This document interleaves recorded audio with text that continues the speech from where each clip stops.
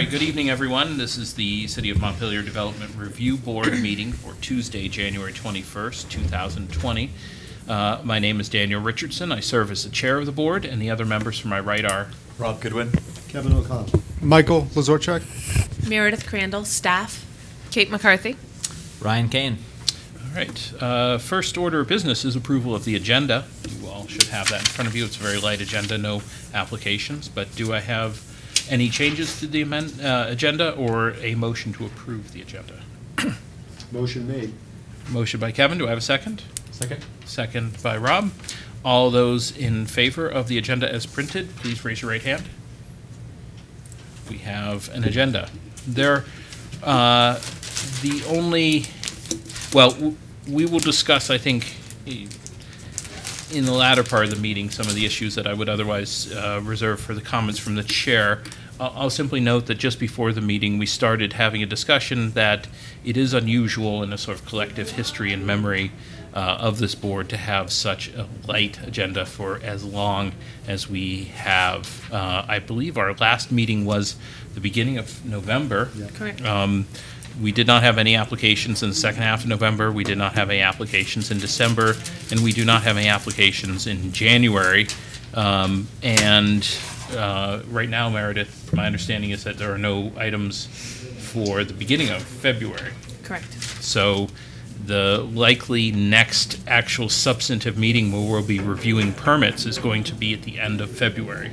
Yeah, And that's if we get an application. At this point, we don't have an application in for that meeting either. So it's just as possible that it could be March. Yeah. Um, Okay, so, you know, that said, it's, it's, I'll just simply note that, I don't know, um, we were speculating as to what that means, uh, but certainly, uh, we welcome applications from anyone who wishes to submit said applications, where we have plenty of room on our agenda, as you can see.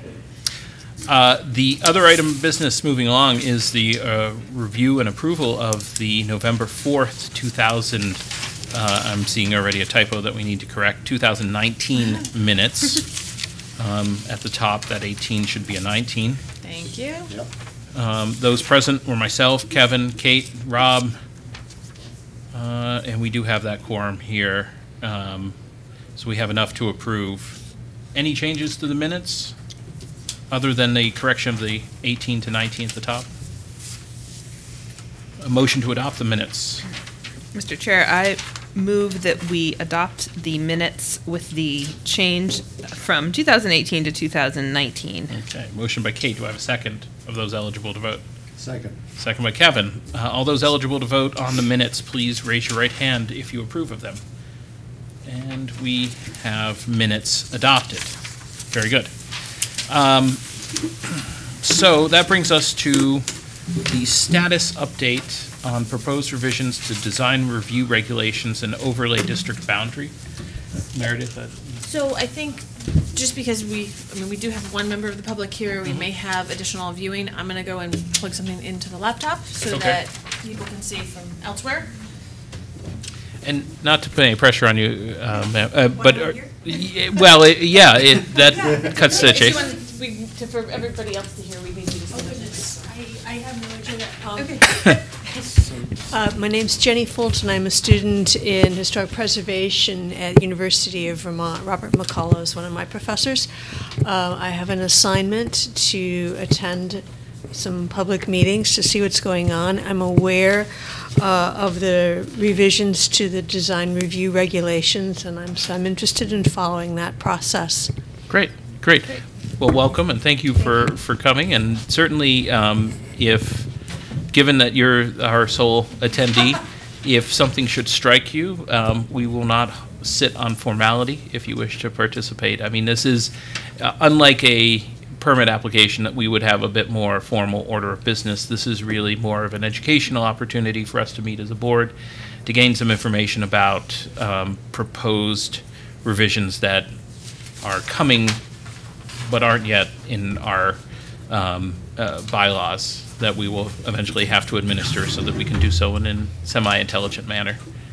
And, Mr. Chair, for the sake of any, of of anyone watching along tonight, we should probably note that this isn't a formal hearing on these regulations. This is an, as you said, an educational opportunity for the Development Review Board.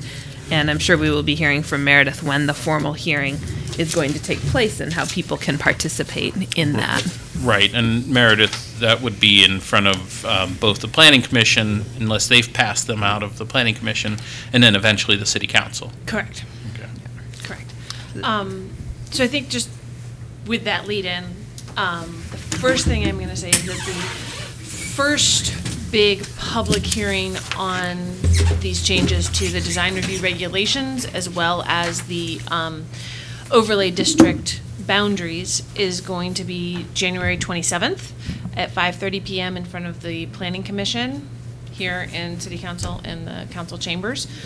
Um, and I wanted to just brief everybody on where the status, you know, where the status is on this, because we've been trying to keep everybody abreast of potential changes. Um, so, since I was here last time on this matter, um, the, the planning commission made a few adjustments to the fifteen pages, roughly fifteen pages of draft new design review regulations.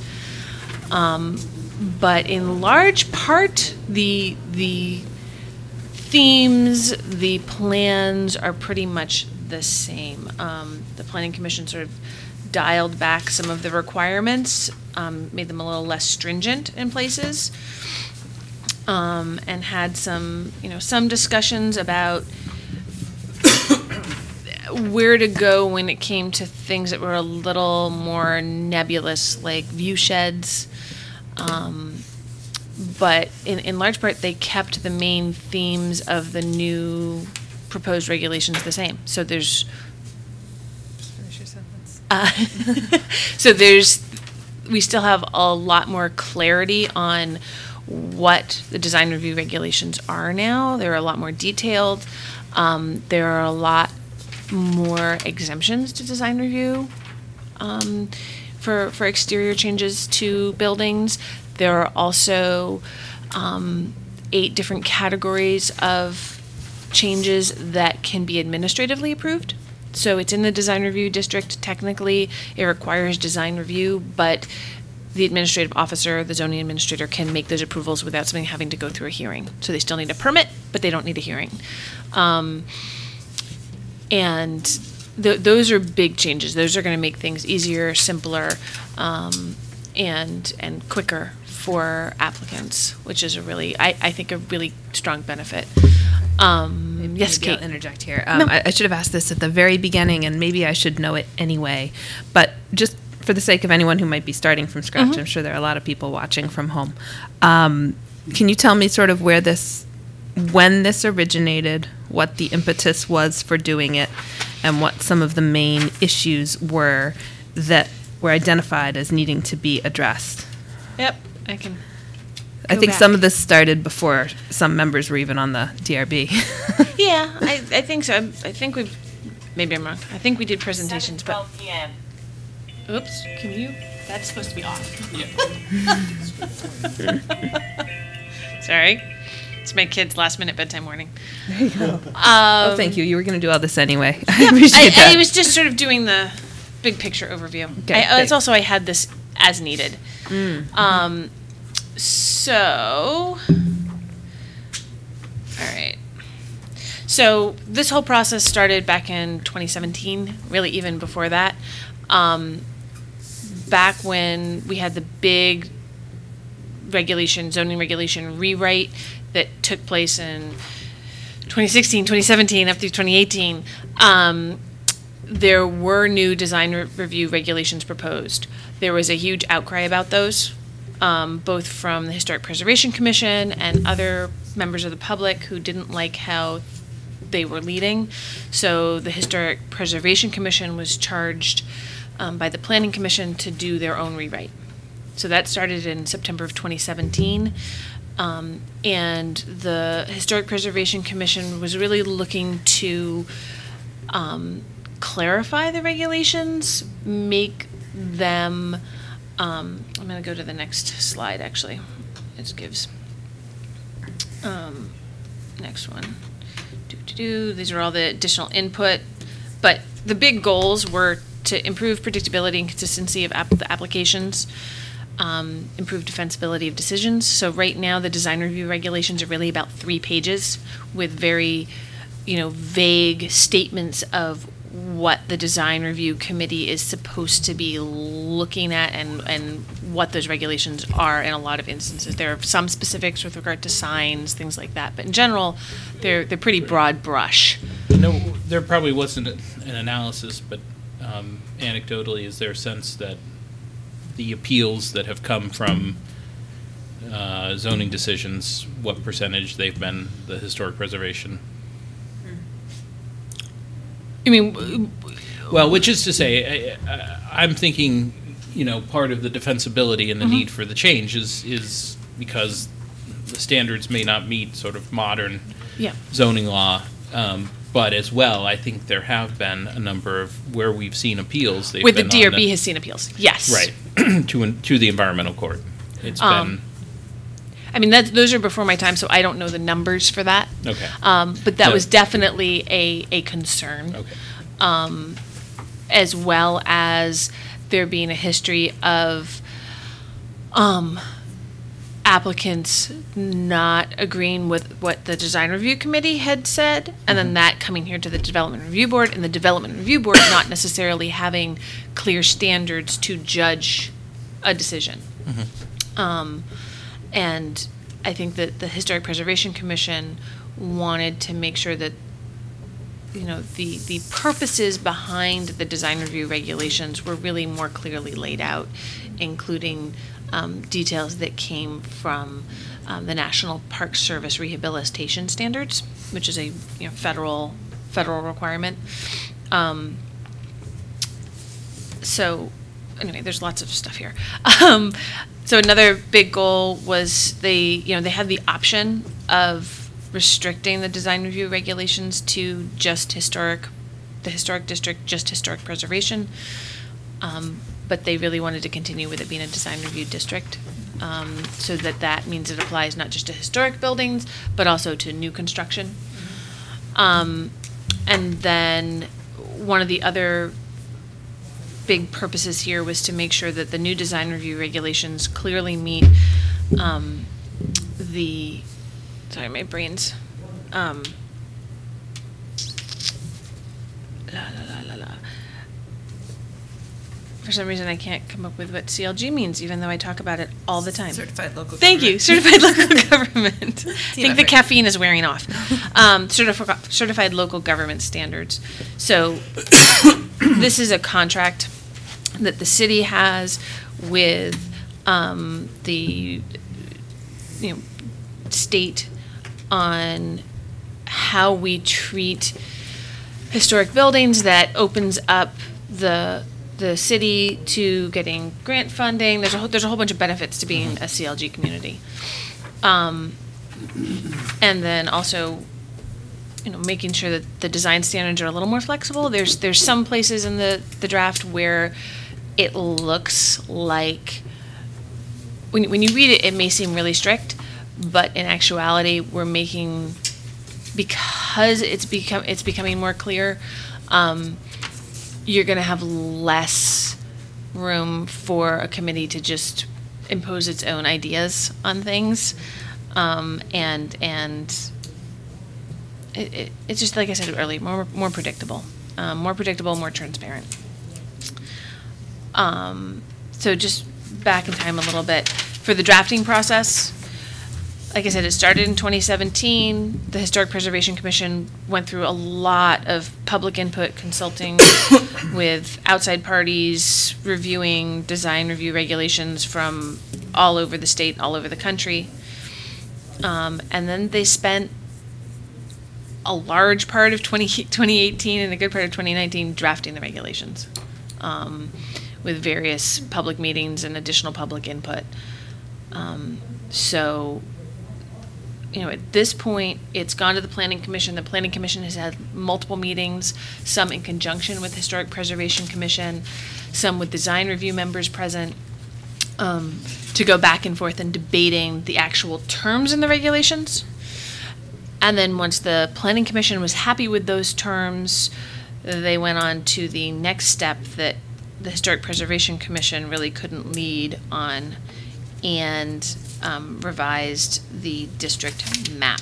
So this is something that is going to, this is where, where individuals really start to, to figure out how this is going to affect them. Um, it's kind of hard to see on the 11 by 17, so I'm going to zoom in on here. Um, so, this black line that you can see on the map, and you all have a copy of it, Right. Surrounds the current design review district. This is the current design review district boundary. The stripes. No, not the red stripes, the black Oh, the line. black line The is the black current. line is the current. Gotcha.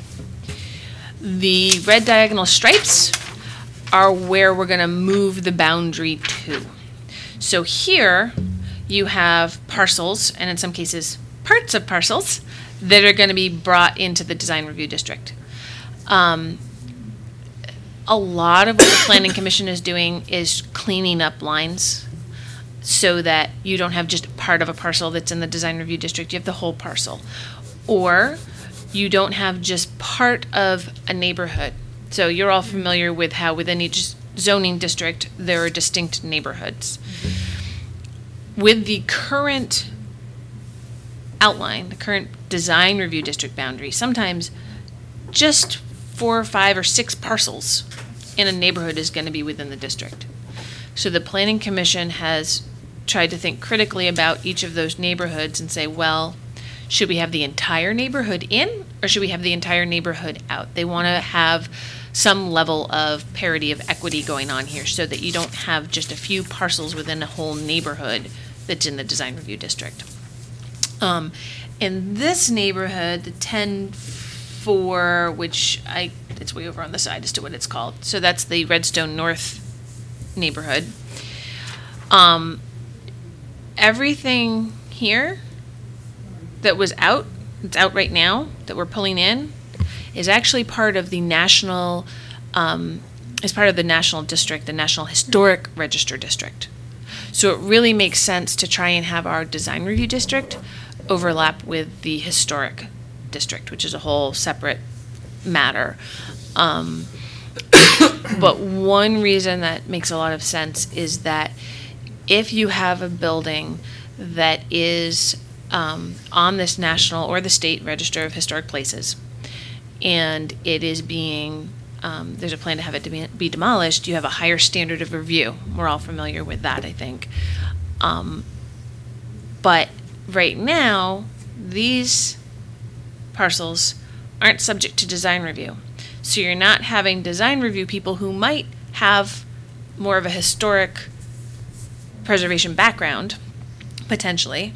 I know of at least one person on the current design review committee who's also on the Historic Preservation Commission.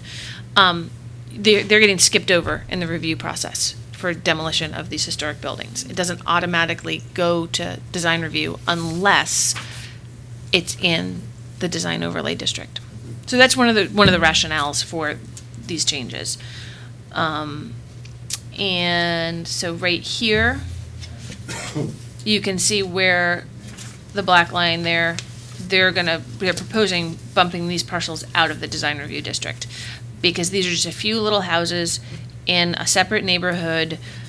It, it's not in the historic district. They aren't finding any reason to bring in the whole rest of the neighborhood.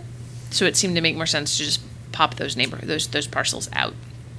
Um, another interesting bit is here along Barre Street. Um, so you had one side of Barre Street that's currently in Design Review District. The whole other side of Barre Street, even though it's the same neighborhood, right now is not in the Design Review District. So they're proposing to pull it back in and have it come over the entire neighborhood and both sides of the street. Um, does anybody have any questions right now? I mean, it's, there's there's lots of I could I could talk about every single change, but that's also something that's going to happen at the meeting on the 27th Yeah. with people who have a lot more understanding of why they made the decisions they did. Uh, Meredith, how far along are they in the process? I mean, if you were gonna assign some kind of percentage, they're three quarters of the way down. Uh, the, the planning commission process. Yeah. Um, this is not. This is the very first public input Okay. hearing. So at this point, the meeting on the 27th is there, the, the first really broad, let's get all the rest of the players to the table at the public, you know, at the, at the planning commission. They've had multiple hearings, but there hasn't been a lot of public input. So for this hearing, um, we've actually sent physical notice to every single property owner who has a, who owns property that is currently within the design review district or is proposed to be added to the design review district. Um, and so they've gotten a special letter that tells them which property we're talking about. If it's in, is going to stay in. If it's in, is going to be booted out. Or if it's out and is going to come in, plus a copy of the map, plus a copy of the regulations. So we're hoping that the meeting on the 27th is going to have a lot of input. Um, we've started getting some of that input in writing um, for people who won't be able to make the meeting and have called in, but hopefully a lot of people will turn out at the meeting. And then, depending on that public input, there may be a sort of retrenching, re-meeting between Planning Commission and Historic Preservation Commission, just to see, see what the, what the barometer is saying. Whether or not there needs to be big changes or just small changes to then go forward. So then the Planning Commission will still have to have, I think, at least one, maybe two more public hearings after that before they even have a vote on whether or not it goes forward to City Council. And City Council definitely has to have at least two public hearings before they can adopt something. Is my understanding. Yes, Kate. I'm kind of curious if you know what's happening up by the College of Fine Arts. Um, it look, you said that there was an effort to bring into the design review district anything that's in the same neighborhood for consistency, and yet this looks like something drawn based on a parcel line. Yep. So my understanding um, is that because this particular separate, you know, outlier of the design review district was originally drawn to encompass the property owned by the college. Um, the planning commission is proposing removing those parcels that are no longer owned by the college from the design review district. Has the buildings, the types of buildings that are on those parcels changed since the college no longer has ownership, or do they continue to comprise part of the character and district? Um, Ownership and form are kind of two different things. Yep, I. I am. putting you on the I am. I. I am passing on to you what I know. Okay. I was not at every single planning commission meeting about this, um, so. You know, this is. Hold on. Let me zoom in and see if I can see something. So, sometimes you can see the little white lines that designate a different neighborhood. Um, so right here, I think this parcel is technically, a. I mean, it's a different zoning district. You can see it's purple instead of the yellow. Yeah. Same with these yellow ones. Sure. Um, Yeah. sorry, that's orange underneath the red stripes. Yeah. So because these are also different technical neighborhoods and districts, Mhm. um, I think that that's reasoning behind that one. It may Mhm. also be this, this one. That makes sense. Um, I'm wondering about that you know, one. this, the big one. Yeah. Um, Is that, that- is that a hill? the the big one, the big one is is a tricky one because it's very strange to have a single parcel have multiple zoning districts over it. Hmm. Um, that is something they typically try, and this actually, huh? They've drawn this line incorrectly. Um, there was a change to the zoning map, so this district line right here, this actually now goes straight across and down. This Okay. little bit here has been rezoned All right. to match riverfront. Okay. Um, but, you know, this is, this parcel, because there's actually a parcel line here. Mhm. The parcel, that I always call it a penguin. Um, I believe is, you know, this is what the Vermont College of Fine Arts is talking about selling off. Okay. There's no, right now, there's no buildings on here at all. Okay. Um, really, it's sort of more, in my mind, it, it, it is more similar to Sabin's pasture, Hmm. um, but it's been owned by the college. Um, so I think that because if there's development on there, it's gonna be new development. But, you know, it's, it's planning commission's thought process. Depending what happens on the twenty-seventh and other public hearings, Mhm. These lines may all change. Yeah. And I mean, considering it's new development, that might be an argument for having it within the design review Yeah, district. it's, it's a, especially I'm because. sure it's been an ongoing conversation. It, conversation. it's an, yeah, and that's what, that's what the 27th is all about, is broadening that conversation. Okay. Thanks for taking that question on the fly. Oh, yeah. Okay. Any other? Just, uh, When, when when did that zoning change happen of the, with the riverfront line? Um, so uh, I can't remember the exact date.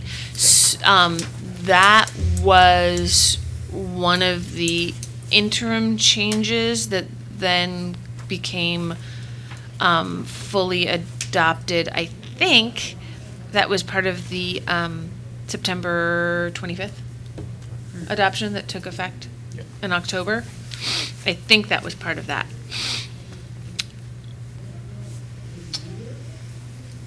And there were several public hearings at Planning Commission and City Council about it. So just so I understand the process, Meredith, Mhm. um, these decisions, because they always involve decisions and where to draw the lines and where not to draw the lines, this has been driven by both the planning commission as well as the historic preservation people? Um, when it comes to where the district lines are drawn, that has been much less driven by the Historic Preservation Commission. Okay, Um, that has been more planning commission at this point in time and trying to, um, as with the design review regulations, make things more transparent and clearer, easier to follow, and, you know, a little more parity. okay. Um, this is the, their first stab at it. You know, they didn't, I, I don't think, at this point, they really don't feel like they want to make, you know, huge changes Mhm. to the design review overlay district. They're trying to tweak it where it seems to make sense right now. Right. Um, but it's their version of what makes sense. How it morphs from here forward, I don't know. Right. It all So I mean, there's a few properties that are gonna experience the design control um, regulations for a first time. Yep. There's a few property, fewer properties, I would say overall, that are going to leave the design. That's the proposal. And the proposal. Yep. Yeah. No, I, I, Sorry. Okay. Just then maybe we, it might make sense unless anybody has any questions to sort of move on to the, um, the actual regulations overview. the PowerPoint. Yeah. If you're, I- if you're ready. Yeah, I mean, it's, I think we've talked about a lot of it. Um, you know, I can go into the core changes. I'm not sure if you think that's helpful at this point. This same presentation, most of the same presentation is going to be presented on the 27th. Um, do, I mean, this, Well, I think, I think for our purposes, I mean, what I'd really like to know is, under the changes that are being proposed, how many applications are likely to be, or what types of applications are likely to come before the DRB? Yep. Um, I think that so right now, if something goes through the design review committee that is a big project that then has to come before the DRB, you usually get a copy of their recommendation form, right? Right. Which is one page, maybe one in a back with some para, you know, a few sentences of recommendations on it. The the way this is going to work to be able to get similar recommendations and to have the, the kind of detailed analysis that is going to be required a little bit more is I think we're going to have to have more different kinds of recommendation forms. So right now there's one for signs, there's one for everything else. With the new system, you're going to have, you know, the question of is it is it a project that involves a historic building? Is it just a project that's new development? Um, depending on that, the answer to that question, you're going to have different standards that apply. Right. Um, and so we're going to have to have more variety of forms. They're going to be more detailed. Um, it might be that there is a sort of design review committee level shorter staff report that then just gets folded into your staff report to go through everything. Um, we're, we're kind of playing with the process, not the process, but the what the what the paper is going to look like in that process. Um, So there might be a little bit more for you to look at when a design review matter comes before you, even just to understand what was talked about previously. And especially if it's something where the design review committee recommendations are being appealed to you. Right. I mean, we're still going to sit in appellate review effectively of the design review committee's. Exactly. Decisions. Or, or the zoning administrator's decisions, because Or- there will be the opportunity for zoning administrators to approve or disapprove, disapprove things before they even go to the design review committee. Um, And there, so, i- is demolition still going to be under our wheelhouse, or is this? demolition will, s- I mean, currently demolition in the design review district, the design review committee gets the first cut at it. Yeah. um, that will still be, un- under these changes, that will still, still come to the Development Review Board. Um, I am gonna give you a little heads up that the Historic Preservation Commission is playing around with a brand-new demolition provision, that we've, they've just started looking at that. Um, that may not come, move anywhere, or it may take, you know, a year or two. Okay. So who knows? But that's that is something that's being worked on. Right, but It's kind that's of not- outside of this Process. process. But Um, actually, I have one very specific question. Yeah. And I was just, in looking through some of these exempt developments, Mm-hmm. and I'm just curious, this has absolutely nothing to do with the DRB, it's only because I've gone through this process, I think. Um, I noticed that the defined that doing, uh, particularly under subsection F, it has, says in bold, alterations that involve changes to materials, composition, type, or appearance of a feature, the removal of distinctive materials or alterations of features, spaces, or spatial relationships that characterize property are not exempt activities. So I've seen this problem, I've, I've run into it myself, where you are using, where you have a building with historic material. So the porch roof that's in hammered tin, mm-hmm. that's now corroded and needs to be replaced, but of course, nobody does roof in hammered tin anymore. It's rubber membrane. Mm-hmm. So you're replacing one type of material with another because that type of material isn't used. Otherwise, it would, it would appear the exact same from the street. A black-looking roof, you're not changing the spatial features. But looking at the definition of what's in kind and alterations to materials, that seems to, to be a change such that it would require a permit and review by the. correct, Okay. correct, because you're not. It is not the same material. Right. Um,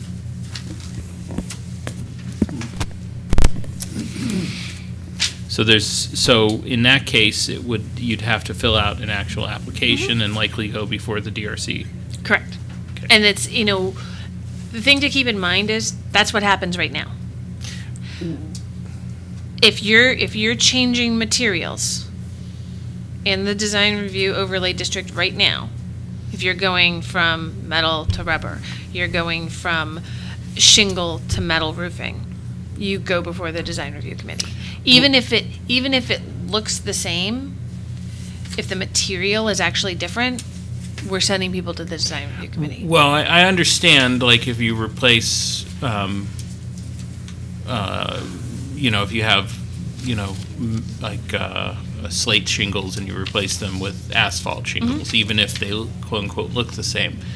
But what I'm talking about is a little bit more narrowly, and I, I do, I know that the uh, prior administrative officers have interpreted it differently, where if a material is not available in the same manner, which is to say, if, if for example, the hammer tin example, even if I wanted to replace a roof with hammer tin, I couldn't because it's just not available commercially the way it was 110 years ago.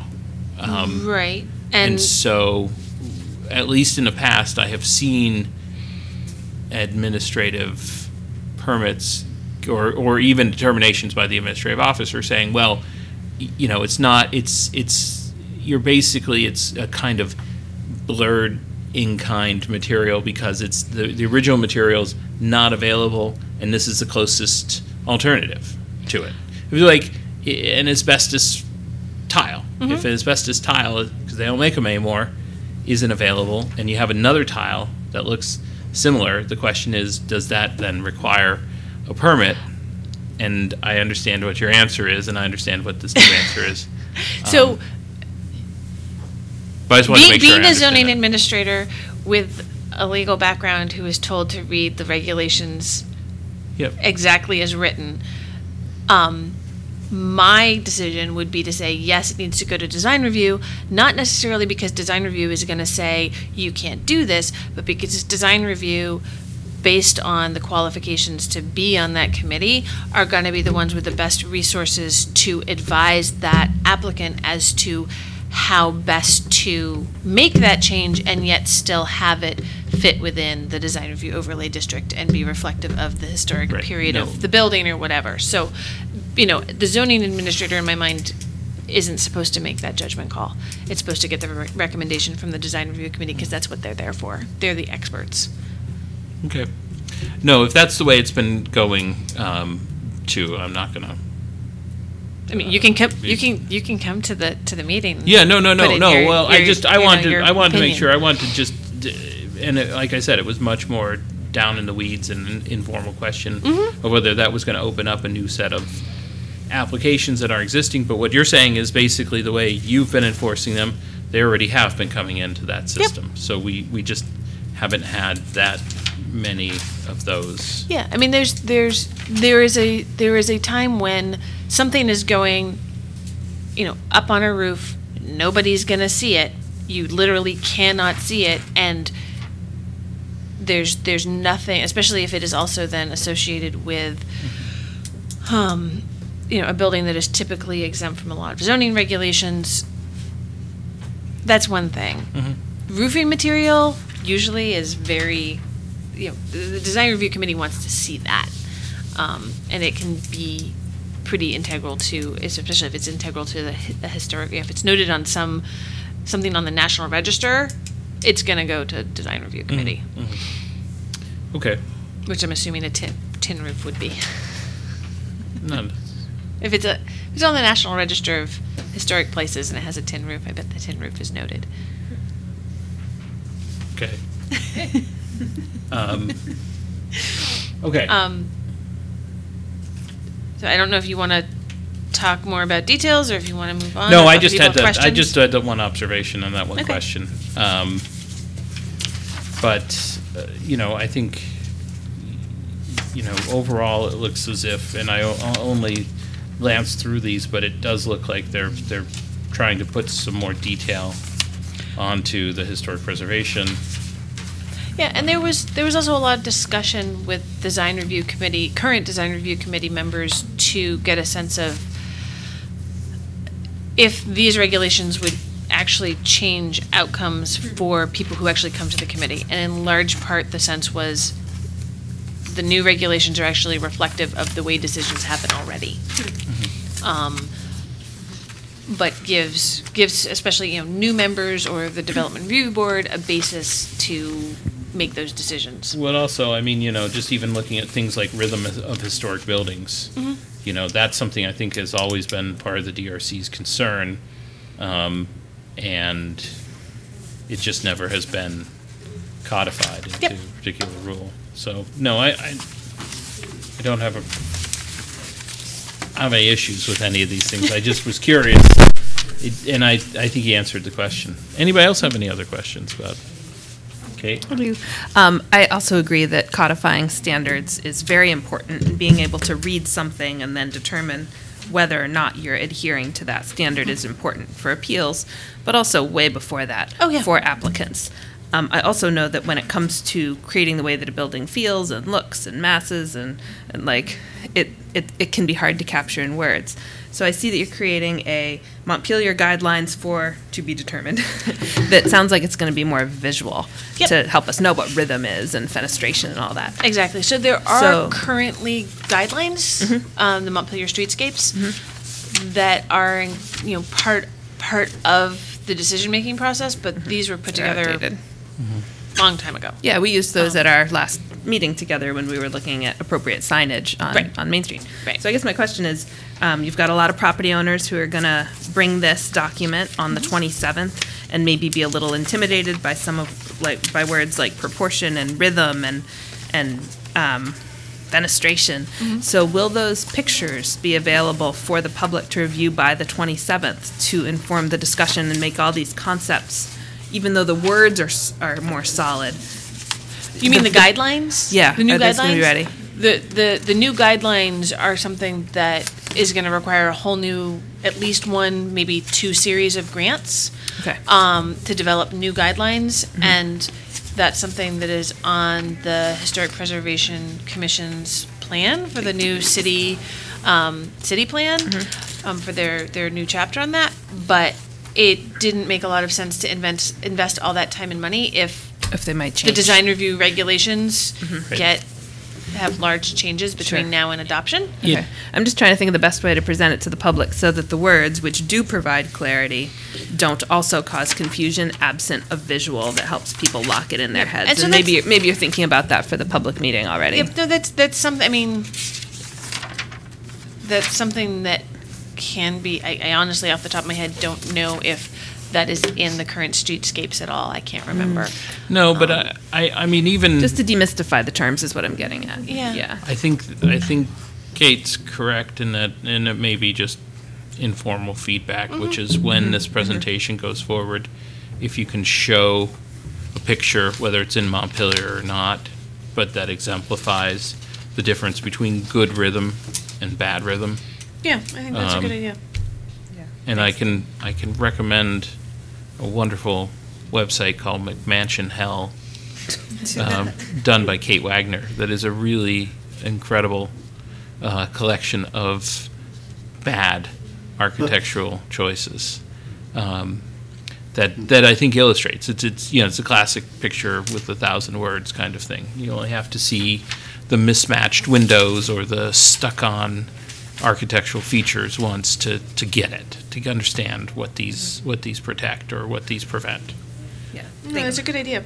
Thanks, Dan. That, that is right how you characterized what I was getting at is the idea of the informal feedback Mm-hmm. to help facilitate the meeting and make these concepts less scary when the public comes in No, I think a that's a good page idea. I'll, um, I know the it's work. planning director has been, well, the planning director has been working on that presentation, on morphing this presentation into something for the 27th, and so Mm-hmm. I will bring that up with him to see if he's even started on that. Yeah, some visuals. idea. For just Mm-hmm. rhythm Um, is this, windows are this, height means this. And some of that may be able to come out of existing materials that we have in the city. But, Mm-hmm. I think that's a good idea. Thank you. Thank you. I think it'll help the meeting. I sometimes get lost in the big picture of how to present the whole thing and didn't think about that. Yeah. And I But- often get lost in words rather than pictures because I'm wordy in my head and in my speech. Um, but pictures matter. Yeah. Good. Anybody else have any other questions? Okay. Thanks, Meredith. This Awesome. has been Thank you very helpful. much. That was great. For the review. Yeah. Yeah. helpful. And if anybody wants copies of presentations or anything, let me know. If you aren't going to keep your paper copies of things, you can give them back to me because we'll use them on the 27th. Thank you. Very good. Okay. Next item of business is the uh, upcoming board member changes. There's a couple of things going on, and I think it's just worth talking through.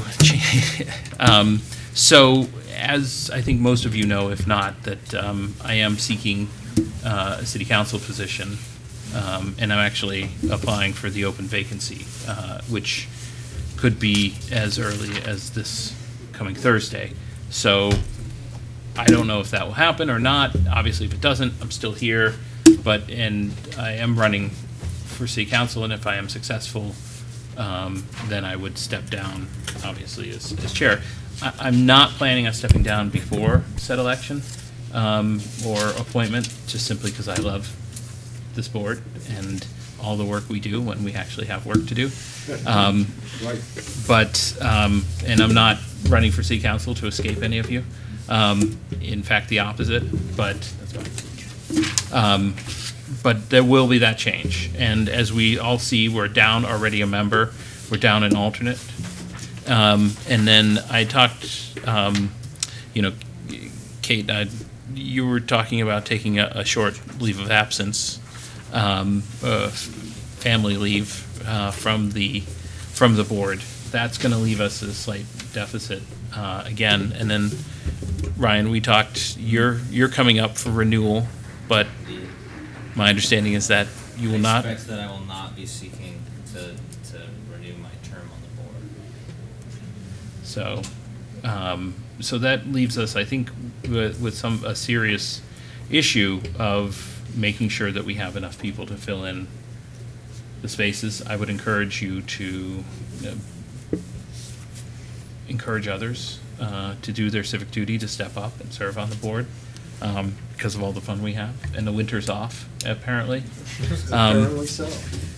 and, uh, you know, I think, so, so if we look at this, I mean, you know, Kate's absence will be temporary, um, but Ryan, if I'm successful myself, the open seat, that's three, plus the alternate, that's four out of nine positions. I think we, we need to be, uh, very thoughtful about getting either people who've served to come back, um, cause some of the people who have served in the past are interested in coming back, uh, as well as getting new people on board, because I think, you know, one of the, the really good parts of the board that in the past two years has been the new infusion of, uh, people serving. It's been a great opportunity, uh, not only for you, but I think as a board, we've been a better board because we've had new ideas, new perspectives. So certainly, if you can encourage that, it's something to keep on our agenda. Any questions? All right. No, I, I would just add that my intended leave period um, is that tonight, it was going, my, my last meeting before taking leave was going to be our next meeting, which we don't have. Uh, so it's tonight. Um, and I intend to return May 4th, assuming that everything goes well. Um, and that way I can be back soon. if that can't happen, I'll, I'll let you know. Good. Um, so, obviously something to think about. Um, I know that the, the city manager's office sends out a, uh, board and committees vacancy, um, newsletter Mm-hmm. on a regular basis. And I- I'm not sure, has this, have, have, has the board been in, included in that? Yeah. Meredith? Yep, It and it's been, yeah, it's on Front Porch Forum, it's on Facebook, it's through the city manager's, you know, weekly report. Okay.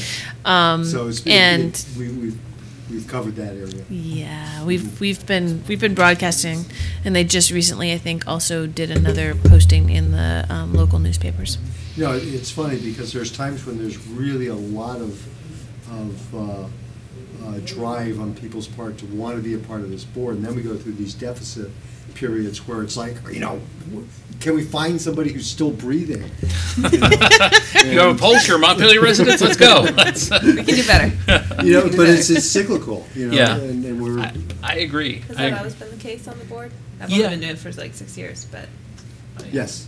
Yeah, uh, I, I, been pretty I've noticed, I've noticed those ups and downs and, um, yeah, I think, you know, uh, in part, I think it's a testament, and I don't wanna do any back patting, but I think we should, as a board, in part, I think because we've been working so well together, it doesn't create ripples, you know, people often pay attention to boards that aren't functioning well, public boards particularly, and you know they start to step up because they feel like it's going off the rails, and they, you know, everybody wants to step, you know, eh, that often gets people riled up, and that's when I've seen when we've had Right. controversial decisions. That's when, or when there's been controversial issues. That's when people have often wanted to sort of step forward.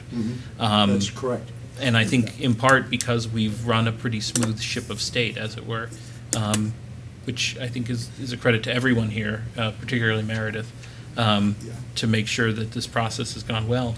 People think, oh, well, we don't have to think about it because it just runs. Right. Um, so don't let them be complacent. Get Well, for our television audience, you know, take a look, see what we're all about. Yeah, watch some of our back episodes. Okay. Look at season. Season, season five was great.